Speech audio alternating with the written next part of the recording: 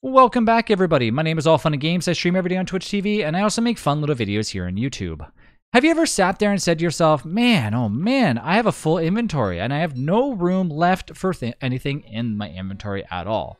Well, let's just imagine you went through the process of actually picking up things and you have nothing left, but you want to make room for another little bit of things in your inventory, but you don't want to lose something that's in there.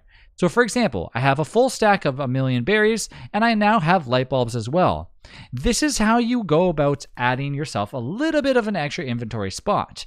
Perhaps you want to look through your inventory and say, what can I hold in my hand while I walk around? And then, of course, things that you can wear temporarily while you're doing it too.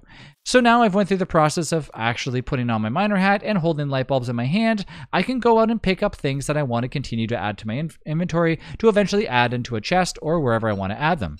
So now that I'm holding this in my hand, I'm able to pick up more berries that are on the ground, and then when I return back to my base, I can then drop these in the chest and then follow suit with everything else.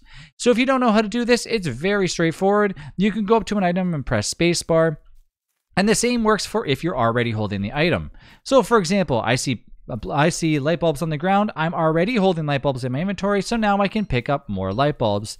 This works, of course, if I want to do the same with berries, where I'm now holding a bunch of berries and I want to go through and I want to continue to pick up more berries. Well, it's going to auto stack in my hand, thus making an extra 40 potentially in my hand just by holding them, which adds to the entire amount of stack that, that I currently have in my inventory.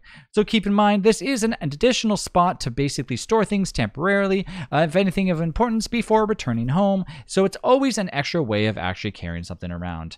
There you go. There you have it. Thanks again for watching. I'll catch you in the next one.